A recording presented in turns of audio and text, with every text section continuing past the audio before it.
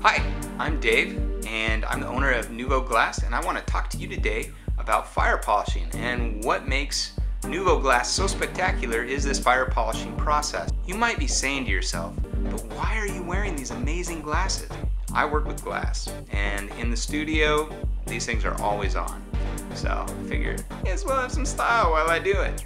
The two components that I want to talk to you today about are fire polishing and annealing. Fire polishing is the process that melts the rim of the glass. I use a wet saw to cut the glass so that it looks something like this, but you definitely can see that it's, um, it's a little bit sharp along the edge. There are small chips, and those imperfections really make it um, unsuitable to drink from. So you have to smooth it out.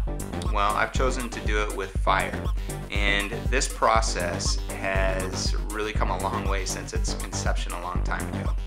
About two years ago, I traded my guitar for a welding torch and I bought a record player from somebody off of Craigslist and I started spinning cut bottles on the record player. While the record player spins, the rim continues to spin, the glass slowly heats up, it melts the rim and it makes it that nice perfect bevel.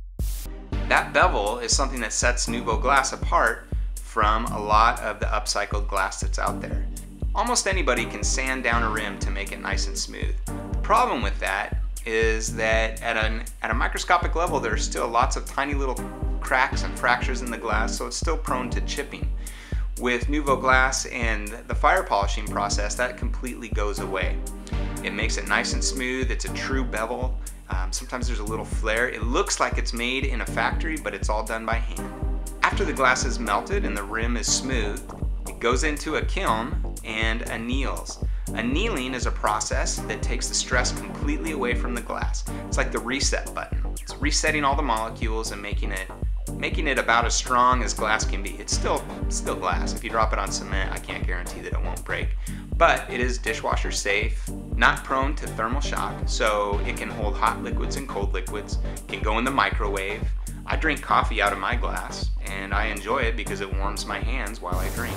So this whole process of fire polishing and annealing really sets us apart. The superior quality of Nuvo Glas comes from this fire polishing and annealing.